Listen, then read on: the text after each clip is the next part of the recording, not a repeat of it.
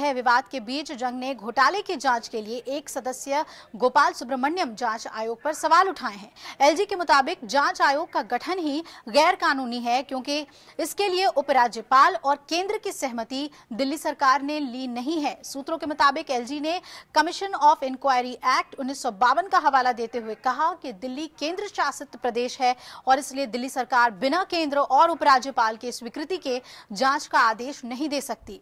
सूत्रों के मुताबिक नजीब जंग ने बुधवार को गृह मंत्रालय से कहा है कि केजरीवाल की ओर से गठित ये जाँच आयोग अवैध है। उपराज्यपाल के मुताबिक दिल्ली केंद्र शासित प्रदेश है और उसे पूरी तरह से राज्य का दर्जा नहीं मिला है।